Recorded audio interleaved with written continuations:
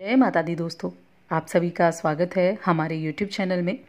दोस्तों, उन 24 मई से 29 मई के बीच में सिंह राशि वाले लोगों के लिए गुरु और मंगल की दृष्टि चंद्रमा पर रहने वाली है, जो कि बहुत ही अच्छे दो शुभ योग बना रही है और इन शुभ योगों का प्रभाव, बाकी नक्षत्रों का प्रभाव भी सिंह राशि के लोगों पर कुछ खास ही होने वाला है। लेकिन खास के साथ कुछ सावधानियाँ भी रखनी होंगी। इसके अलावा इन दिनों में बहुत से ऐसे परिवर्तन होंगे जो इस महीने को खास बनाते हैं, इस महीने के अंतिम दिनों को खास बनाते हैं। तो उन सभी चीज़ों के बारे में हम जानेंगे कि ये योग किस तरह से आपके लिए फ़ायदेमंद है और सावधानियाँ क्या हैं, जो बहुत ज़रूरी हैं। तो सब कुछ जानेंगे इस वीडियो में विस्तार से। बस अंत तक हमारे साथ जुड़े रहें और एक छोटा सा एक निवेदन है आपसे। चैनल पर अगर आप पहली बार आए हैं तो नीचे जो लाल सब्सक्राइब का बटन है, उसको ज़रूर दबा दें, क्योंकि 95 परसेंट लोग जो हैं, वो वीडियो देखते हैं, लेकिन सब्सक्राइब नहीं करते। तो आपसे तही दिल से निवेदन है कि चैनल को सब्सक्राइब ज़रूर करें। इससे आप, हमारी जो सभी वीडियोज़ हैं, वो आप तक सबसे पहले पहुँच सकेंगी। तो अब चलिए बात करते हैं हम इन योगों के बारे में और इनके पढ़ने वाले प्रभावों के बारे में। तो 24 मई, यानी 23 मई की रात्रि से 24 मई से ये योग बनेंगे और गुरु और चंद्रमा की जो दृष्टि होती है वो चंद्रमा पर रहेगी। अब और कौन कौन से परिवर्तन हैं? तो 26 मई को बुध भी वक्री होने वाले हैं। वृषभ राशि में चल रहे हैं, चतुर्ग्रही योग बना हुआ है, चार ग्रह एक साथ बैठे हैं। इसके अलावा 26 मई को चंद्र ग्रहण भी होगा। और ये पूर्णिमा तिथि भी है। जो कि वैशाख मास की पूर्णिमा तिथि है। साथ में चंद्र ग्रहण होगा तो उसका भी प्रभाव देखने को मिलेगा। इसके अलावा और क्या होने वाला है? 28 मई को शुक्र का राशि परिवर्तन होगा। शुक्र 28 मई को और अपनी राशि बदलेंगे और मिथुन राशि में आ जाएँगे। जैसे ही शुक्र वृषभ राशि से निकलेंगे, मिथुन राशि में आएँगे तो वो जो वृषभ राशि में चतुर्ग्रह योग बना था, वो टूट जाएगा। अब यहाँ तीन ही ग्रह बचेंगे। चौथा ग्रह मिथुन राशि में आ गया, यानी कि शुक्र आ गया तो इनका प्रभाव भी अब आपको देखने को मिलेगा। क्योंकि ये ऐसे ग्रह होते हैं जो कि बहुत ही जल्दी अपनी राशि बदलते हैं, जैसे शुक्र हुए, बुध हुए, ये जल्दी राशि बदलने वाले ग्रह हैं तो इनका प्रभाव भी जल्दी ही देखने को मिलता है। सिंह राशि की हम बात कर रहे हैं। अब ये जो समय होगा, ये कैसा होगा? तो एक तो ये समय आपको आराम पहुंचाएगा और एक मानसिक शांति देगा आपको। और अपने व्यक्तिगत कार्यों को करने की बजाय आप अपनी अंदरूनी जो शक्तियाँ हैं, व्यक्तिगत कार्य तो आप यानी करेंगे ही, लेकिन उसके साथ अपनी जो अंदरूनी शक्तियाँ हैं, जो आपको एक पॉजिटिविटी देती हैं, जो आपको मोटिवेट करती हैं, उनको आपको समेटना है, उनको आपको जागृत करना है। किस तरह से, किस तरह से आप मोटिवेट हो सकते हैं? भविष्य संबंधी कुछ योजनाएँ उनके, आप उनके लिए मेहनत करेंगे, मनन करेंगे, चिंतन करेंगे। अब योजना जो है, उनको मनन करना, चिंतन करना बहुत अच्छी चीज़ है। लेकिन ध्यान ज़्यादातर अपना काम काज पर रखें। ये समय अपने कार्य क्षेत्र पर अधिक ध्यान देने की भी आवश्यकता होगी।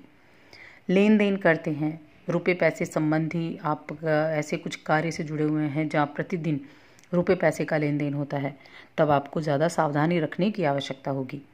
रुपए पैसे का लेन देन करते समय। और व्यवसाय संबंधी कुछ महत्वपूर्ण निर्णय लेने जा रहे हैं तो सोच समझ कर लें। क्योंकि विरोधियों की गतिविधियाँ तेज हो सकती हैं, जो आपके लिए थोड़ी भारी पड़ सकते हैं तो थोड़ा सा ध्यान रखना है। आलस्य आएगा काम करने में। आप सोचेंगे कि आज का काम आप कल करें तो इस तरह के आलस्य से भी दूर रहना है आपको, वरना हाथ आया अवसर निकल जाएगा। और कहते हैं ना कि जो अवसर निकल गया वो निकल गया, फिर वो वापस नहीं आ सकता क्योंकि गुजरा समय कभी वापस नहीं आता। इस दौरान किसी भी तरह का ऐसा व्यवहार ना करें जो आपकी छवि पर नकारात्मक असर डाले। तो इस चीज़ का भी ध्यान रखना होगा। महिलाएँ जो है इस राशि की, उनका मन, धर्म, कर्म के कार्यों में बहुत अधिक लगेगा। राजनीति से जुड़े जो लोग हैं, उन लोगों के बीच में सक्रियता बढ़ेगी। यानी इस राशि के लोग, राजनीति के लोगों से ज़्यादा मिलेंगे, जुलेंगे, उनके बीच में बॉन्डिंग अच्छी होती बनती दिखाई देगी।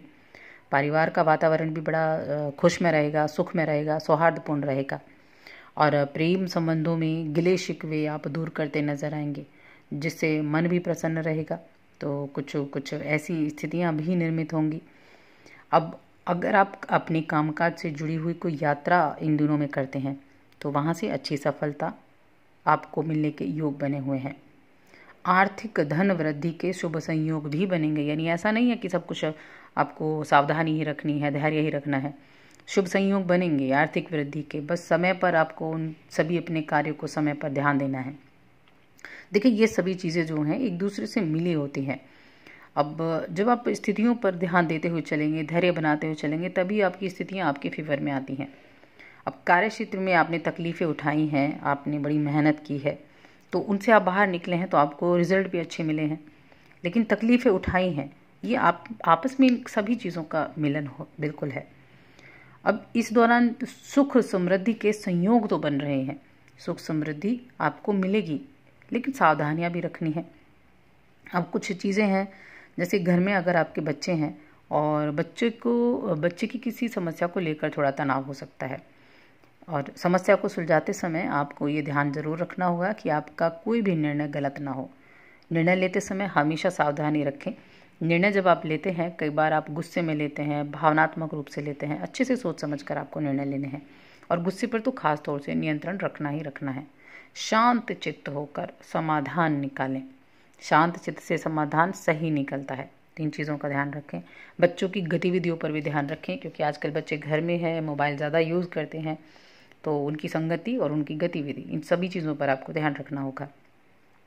दाम्पत्य जीवन में जीवन साथी का सहयोग मिलेगा, मनोबल को बढ़ाएगा आपका जीवन साथी, जिससे एक अंदर पॉजिटिविटी का विकार होगा। और कोई पारिवारिक गलत फहमी चल रही थी तो उसको भी दूर करने का प्रयास करेंगे और निश्चित रूप से आप दूर भी कर पाएँगे। प्रेम प्रसंगों के लिए अच्छा समय है, लेकिन ज़्यादा भावुक होना अच्छा नहीं होगा।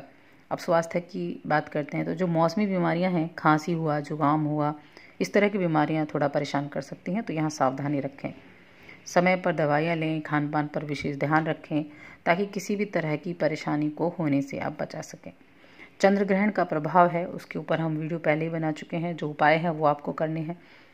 अब शुक्र का प्रभाव जो है तो शुक्र आपके लाभ भाव में आएँगे, आपके एकादश भाव में आएँगे और ये जो शुक्र का प्रभाव होगा, ये आपकी मेहनत को कड़ा बनाएगा और आय में भी वृद्धि कराएगा अच्छा फल दिलाएगा आपको, असफलताओं को दूर करेगा। ये शुक्र का गोचर तो काफ़ी अच्छा रहने वाला है, क्योंकि मिथुन राशि में जब बुध आएँगे तो बुध का भी प्रभाव अच्छा है और जब शुक्र आएँगे तो शुक्र का प्रभाव भी बड़ा ही पॉजिटिव रिज़ल्ट देने वाला होगा। संपूर्ण जानकारी नेक्स्ट वीडियो में आपको ज़रूर मिलेगी कि शुक्र किस किन किन चीज़ों के लिए आपके लिए फ़ायदेमंद साबित होने वाला है। उन चीज़ों के लिए आपको ध्यान रखना है। बाकी ये समय कुछ अच्छा करने के लिए भी है और कुछ सावधानी रखने के लिए भी है। हर चीज़ों को ध्यान में रखें। बस गुस्से पर नियंत्रण रखें। बाकी सारी चीज़ें खुद ही आपके लिए बनती चली जाएँगी, होती चली जाएँगी।